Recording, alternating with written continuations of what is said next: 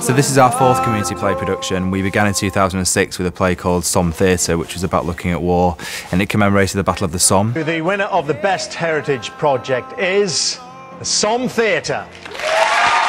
And it won a national award, and that really gave us the template for doing this sort of work. Our idea and our format, if you like, is that we do very, very specifically uh, targeted productions for everyone in the community. It's open to everyone, and I think that that's quite a, a, sort of special thing. We followed Somme Theatre with a play called Branded by Simon Bent, which was on the Old Vic Theatre, which was about conscious consumerism.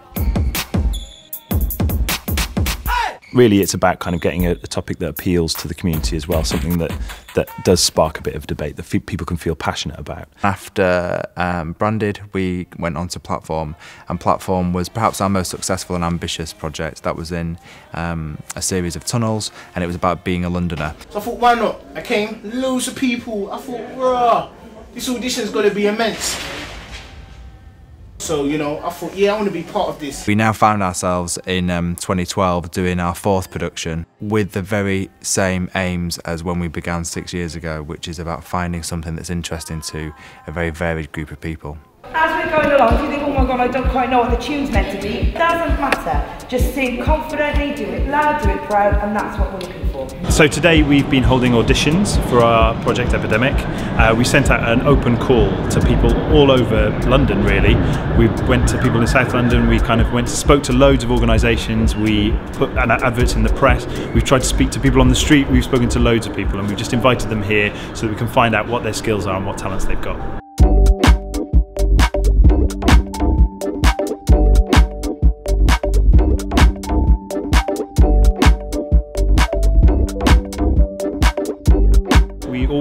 For people who believe in the same ethos of community as um, we do.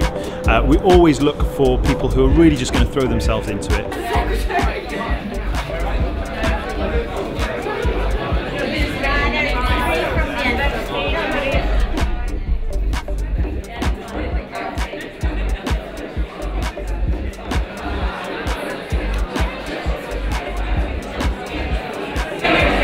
very, very lovely see you all here this morning. We're really, really excited to see you. For those of you who don't know, my name's Alex and I'm the director of Epidemic. Uh, the day today is going to be all about getting to know us, us getting to know a bit about you, and you getting to know each other. So it's one of those kind of days. Okay, this is the best one. Show us back. Cheesy grins. One more time,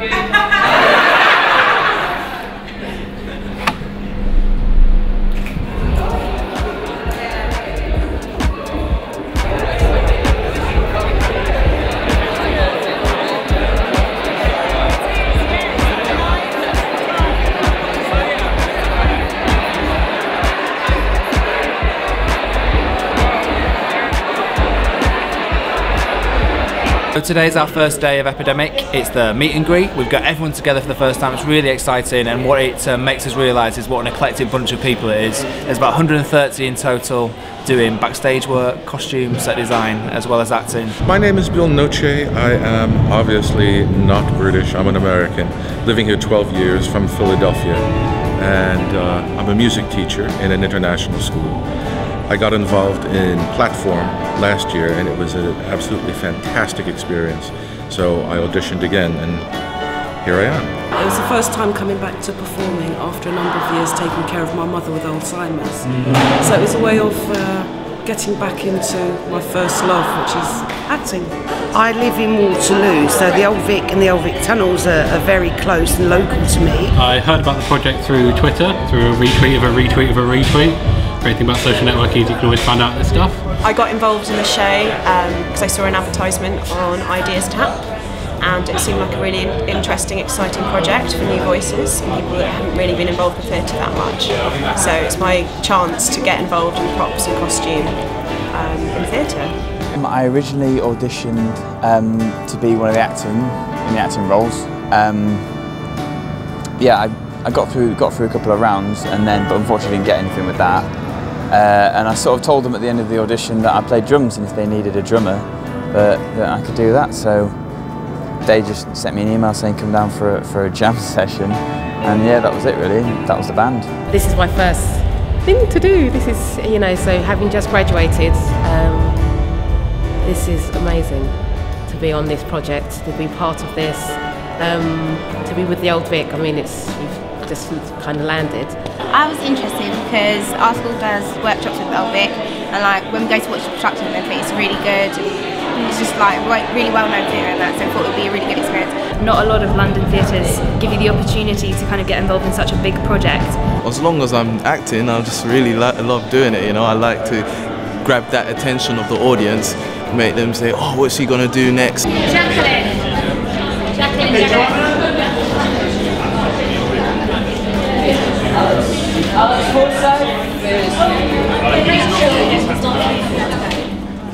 Uh, the project is all about health. It's called Epidemic. It's about health and well-being. Uh, you will see that when you come to read the script later on, or you come to hear the script later on. You will be able to pick out elements of that.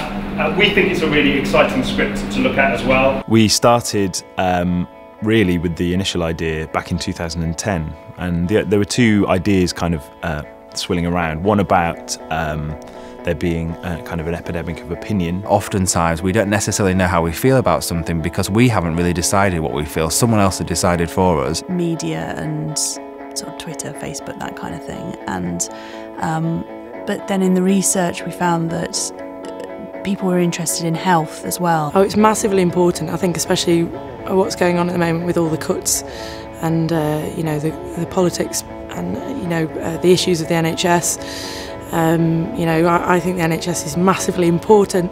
So, uh, you know, uh, to bring that to the forefront and, and, to discuss healthcare just on a, you know, in a general way is really important. The two topics that really, really just stuck out by a mile um, in every workshop they came up was obesity and mental illness. Those seem to be really um, kind of current. The first thing I thought was, oh my God, this is massive. It was to create a brand new musical anyway is pretty scary. It's the first time I've ever created a musical myself as a writer. Um, but the, the, subject matter is just so huge. To be honest, when it started, I thought it's not going to work. It's going to it's going to turn out to be a silly thing where people like tap dance to you know mental illness or something. And because of the collaboration of the creatives, it's turned out to be remarkably effective. What I wanted to do is make it more almost like a concept album so that the songs would be able to tell their story with a through thread, but it wouldn't necessarily be a traditional musical with um, maybe recitative sections or aria sections. I really wanted the songs to stand alone. And I also wanted to include as many different genres of music as possible. It's an excellent opportunity to really, really try and hit home some things that really should be probably placed in the mainstream mainstream but aren't.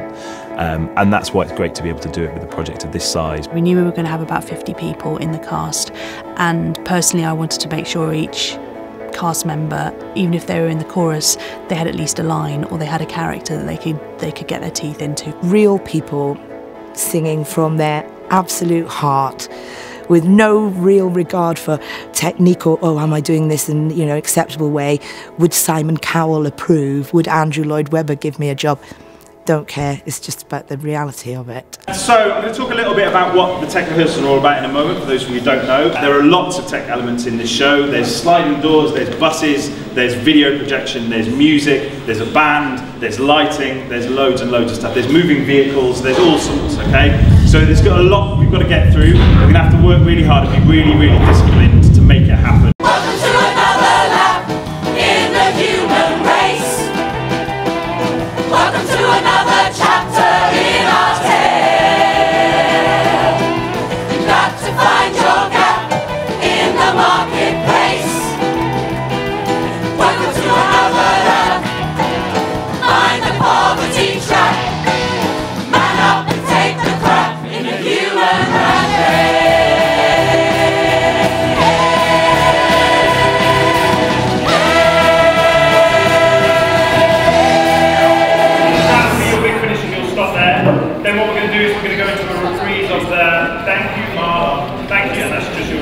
I saw very early on an opportunity to really raise the bar with amateur work and particularly community productions and community projects.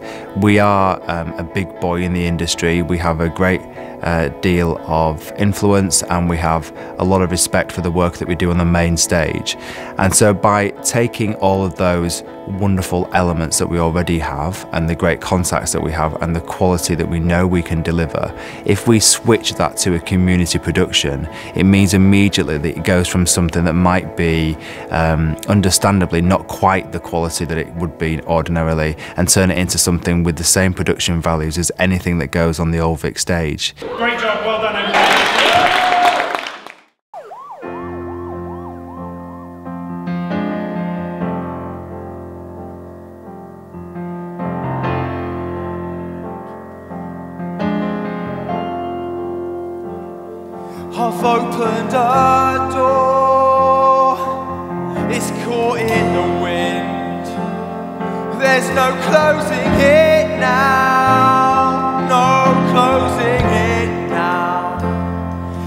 I've turned my back on all that I've known, and I'm letting go. I'm 27 minutes letting past, so we have three minutes. Ready?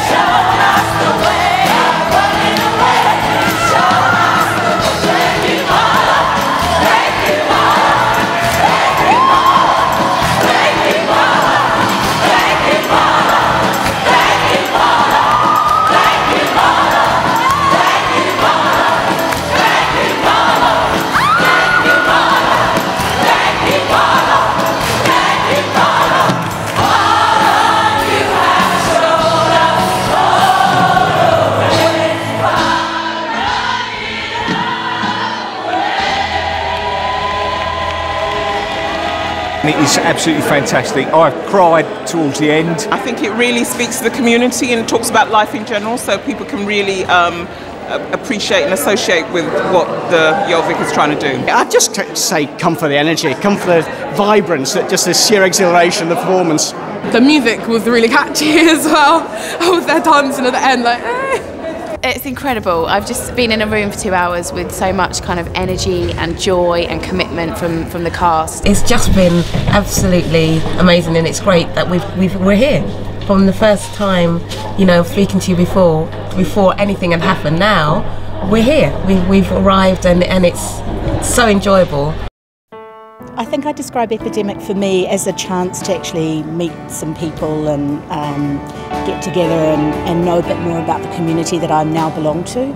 Um, the play itself is important, but I think what goes on behind the play is equally as important. I feel like I've made over 100 new friends. Uh, we're all connected. I know, you know, people from all different types of backgrounds. I think that's what's so nice. It's been amazing. It's I think it's probably one of the best um, entrees I could have in terms of learning how to do how, how a play happens. It's been really fun, you know, and you learn a lot more than well, you wouldn't learn this stuff like if you were at school, you know, because you're on the job, you you have to do it. It's been a great learning experience to learn about the process of stage management through working with Felix and Charlotte. My health has improved quite a lot because I, I really like eat loads of junk food and all that. And um, my stamina is improving so much when we run dances all the time. Yeah. I think that's improved. I think people get the sense that we on stage want to be there. We love what we do, we're connected with it, and we want to do it well and do it well for us and for them. Theatre as a whole should be a community event. You know, like, in the recent years, it's become it's become quite. It's got a stigma to it, like a, maybe a middle class sort of um, medium, and it's not how it was originally intended. It's not how it's meant to be. It's it's meant to be for the people. It's meant to be something that everyone can enjoy, and that's what we're doing here. And uh, hopefully, Old Vic New Voices and other companies like that are going to carry on doing this sort of thing for a long time to come. It really was something highly unusual, very special.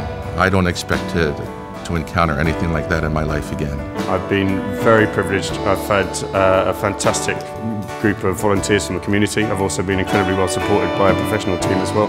But I've also been blown away by the quality of the people who came forward to join the project off their own back as volunteers and as members of this company. And they have been absolutely incredible.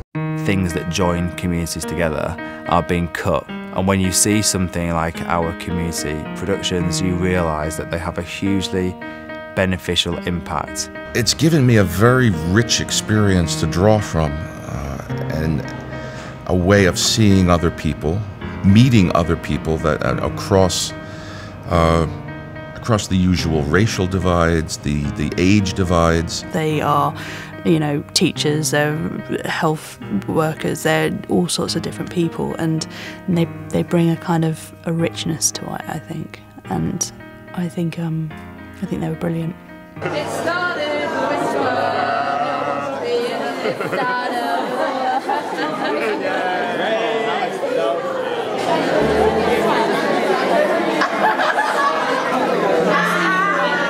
was an amazing project, and I've been really fortunate to be involved in some amazing projects in my time, but this one absolutely tops them all. Not quite sure where to go from here, really. I think that we'll get depressed tomorrow. Now we don't feel it, but tomorrow. I think Monday's going to be a very sad day. Yeah. yeah. Ladies and gentlemen, for the last time on this absolutely wonderful, fantastic, beautiful, love-filled run, um, have a fantastic Act 2. Positions, please. Thank you. Have fun.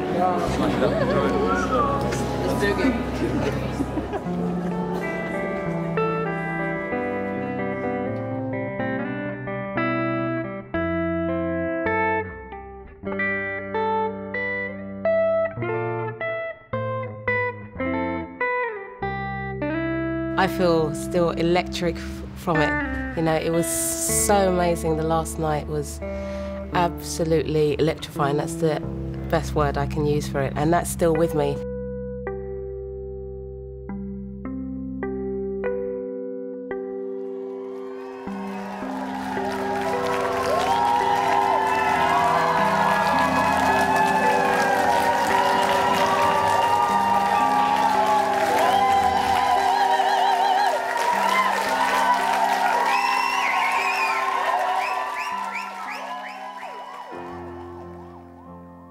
Elated, amazing, just quite um, incredible and overwhelming and just seeing the amount of people on stage and the reaction is just extraordinary. And what's great is that you have these ideas and you hope that they'll come to life but it's only actually when you bring the people together that they really do. And I think it's just been the most tremendous success in lots and lots of ways, the quality of the show, the amazing people we've found, the subject matter and the response from the audience. So I don't think it could have gone much better really. my back on all that I've known, and I'm letting go.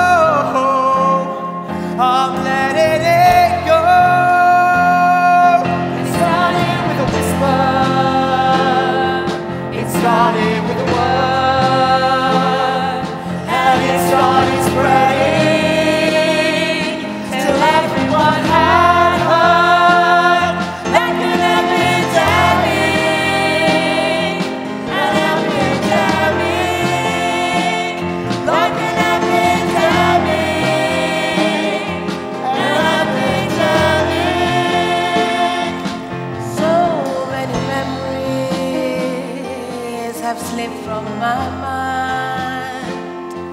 I've left them behind. I've left them behind. But I'm making new ones. I don't want to forget. There's life in me yet. There's life in me yet. It's whisper.